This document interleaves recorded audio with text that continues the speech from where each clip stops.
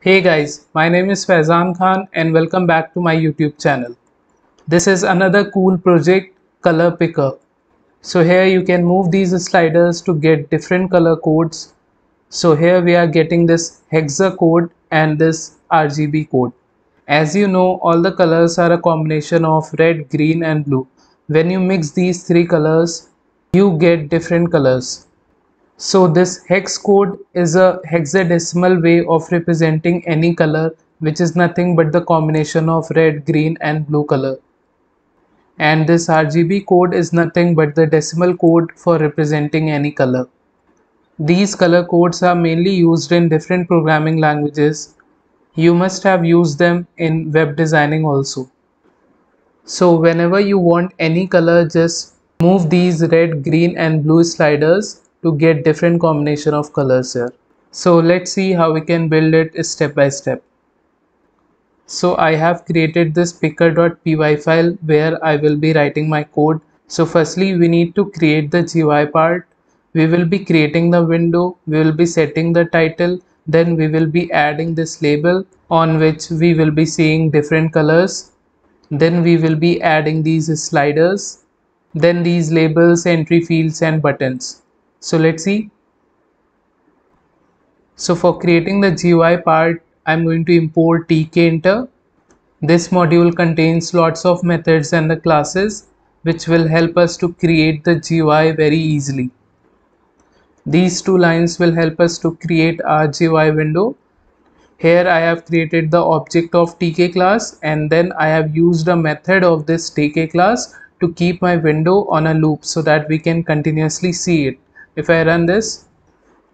So this is how our window looks. So with the help of these two lines only we are able to create a window.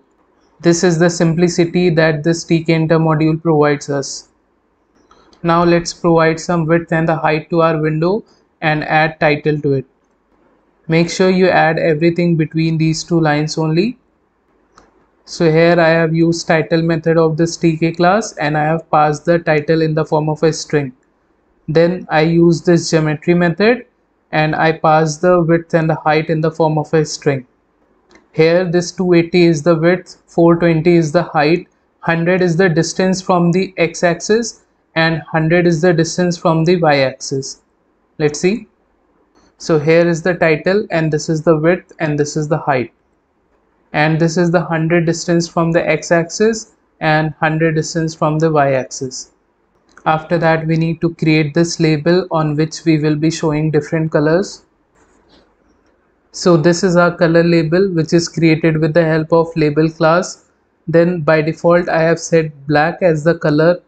I have provided 37 width to this label height of 9 then I provided border of 2 and the styling to this border is raised. Then I packed this color label so that we can see it on the window so this is how it looks. Now we need to create this frame and inside this frame we will be adding these labels RGB and then we will be adding these sliders corresponding to these labels. Here I have created a frame with the help of a frame class. Then I added border of 2 then the styling is sunken this time. Then I packed it and provided padding y of 5. So I have created this R label. Now this label is inside our frame. The text on it is R. Then the text color is red here and this is the font for this text. This time I'm using this grid method to add this label on our window. Because this label is the first thing getting added on this frame that is why row and the column value is 0 here. Just next to this R label in the same row we have to create a scale. So this is a scale for red color. This is also inside a frame. It has values from 0 to 255 so total there are 256 values from which we can select any shade of red color. Then I have provided length to this scale then the text color will be red. So whatever values that you will be seeing on the slider will be in red color. Then the orient whether you want the scale vertical or horizontal. So I want the scale to be horizontal so that is why I have added orient as horizontal here. Then I have simply gridded it. Row is 0 because it has to be in the same row and the column here will be 1 just next to this R label like this. So right now nothing is happening when I am moving this slider because I have not added any functionality to this scale. In the same way we will be creating G label and its corresponding slider. So this is our G label which is at row 1 and the column value will be 0 because this G label has to be just below this R label. Then this G scale which will be at row 1 and column 1 everything else is same. And the last one B label and its corresponding slider. So this is our B label which is at row 2 column 0 then this is scale B scale which is at row 2 and column 1. Now I'm going to create another frame and inside that frame I will be adding this label hex code then the corresponding entry field then this copy button and then another label its corresponding entry field and its copy button. So this is another frame which is similar to this frame that we created earlier inside which we added these labels and scales. Inside this frame I will be adding hex code label and its corresponding entry field. So this is my hex code label and this label is added inside this frame. Since this is the first label inside this frame that is why here the row and column value is 0. After that this hex entry field this is also inside this frame I have provided some width to it then I gridded it just next to this hex label. Let's see. So here we have our label hex code and this entry field. Just below this inside this my frame only I have to create copy button. So this is our copy button 1 if you notice I have provided column span of 2. It means this button will take two column spaces. So you will see it in between this label and this entry field. Let's see. If you will not add column span here, then this copy button will appear here. If you mention column 0 and if you mention column 1 it will appear at this position. But I have provided column span of 2 it means it is taking column 0 and column 1 space. And now in the next row I have to create RGB code label then its corresponding entry field and then the button. So this RGB label is similar to this hex label. Everything will be same. Only the row value will change and this RGB entry will be similar to this hex entry. Everything here will be same. Only the row value will change like this. And now we are left with only copy button. So this is our copy button 2 which is similar to this copy button 1 everything here will be same. Only the row value will be changed. You can see this copy button is going outside of this window. So let me just increase the height of the window.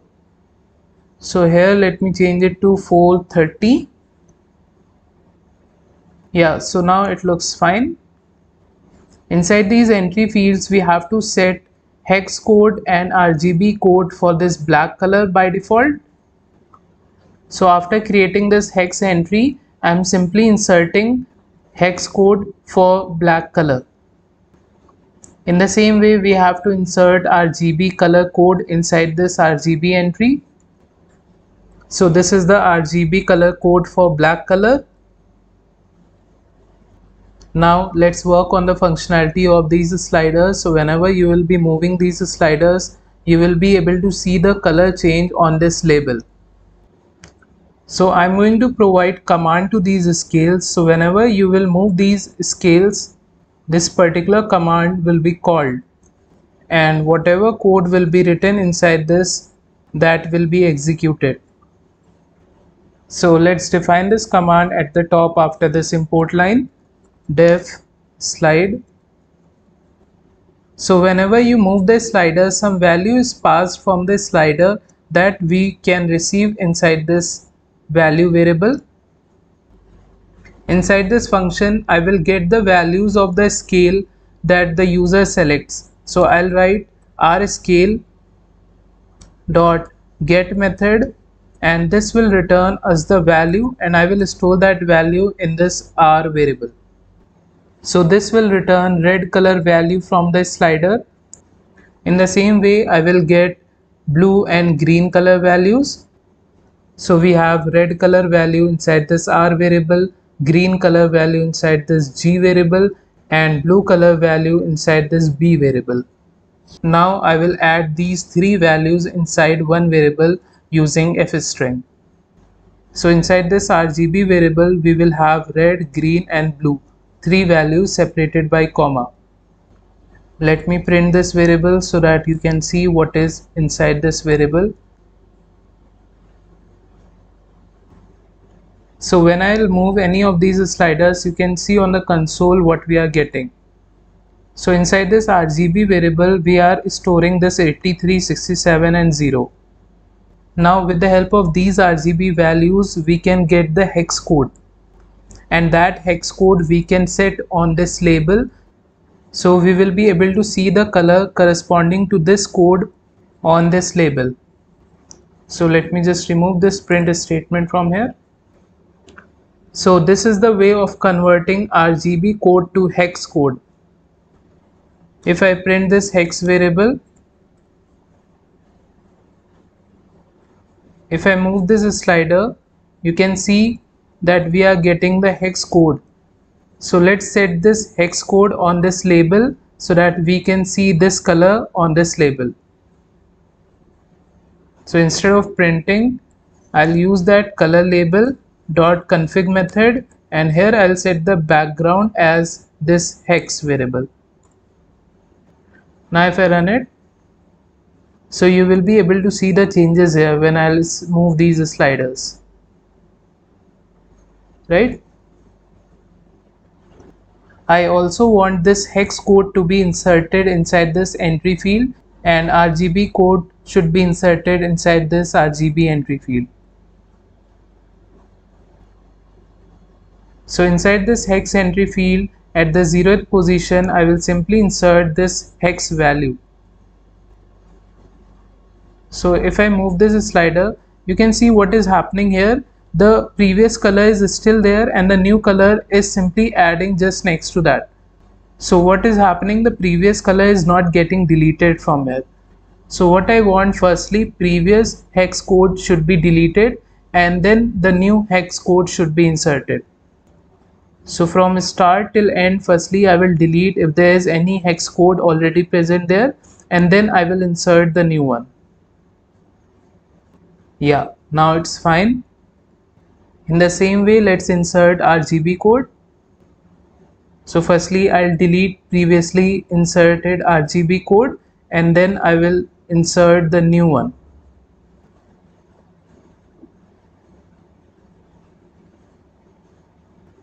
And now let's work on the functionality of these two copy buttons. Whenever I'll be clicking on this copy button this code should be copied. And when I click on this copy button this particular code should be copied. So for copying the text we have to download one external module. So go to your terminal here type pip install pyperclip. I have already installed it. Once you install it then you can import it. After importing it now we have to create two functions one for copy button 1 and the other one for copy button 2 so one function name is hex copy inside this i'm using this pyperclip module dot copy method. It will simply copy whatever you will pass inside it. So inside this i have passed hex entry dot get method. This will return whatever is there inside this hex entry field and that code will be copied to clipboard. And similarly inside this RGB copy function from RGB entry field the code will be copied. Now we have to call these functions from copy button 1 and copy button 2. So inside this copy button 1 I'm going to provide a command equals to hex copy without parenthesis. This will copy the hex code and similarly here also command equals to RGB copy this will copy RGB code. Let's run once more. Move these sliders to get the required color and once you get that required color simply copy the color either the hex code or RGB code then you can paste that somewhere. So what I'm going to do I'm simply going to add a background color to our window root dot config method and here I'll enter the background color which is nothing but the same color that we copied. So this is how it looks. I hope you understood this. If you have any doubts, let me know in the comment section. Thank you for watching.